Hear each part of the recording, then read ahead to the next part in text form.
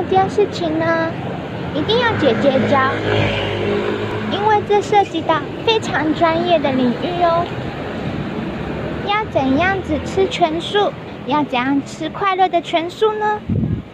首先呢，如果你是一个很爱吃面包的人，非常非常非常爱吃面包，但是面包包呢里面都有奶蛋，对吧？这个时候呢，你就可以去买馒头。像外面有很多各式各样、不同口味的馒头。那你想要吃嘴巴张很大都没有办法吃完的汉堡包，对吧？你就可以买一堆馒头，你就可以买一堆馒头，然后嘴巴张超大的，包着你咬不下去。你把一堆馒头叠起来。看你嘴巴能够张多大，是自我考验的一部分哟。好啦，姐姐的教学已经嗯解释完了，所以你可以放心吃全素了吧。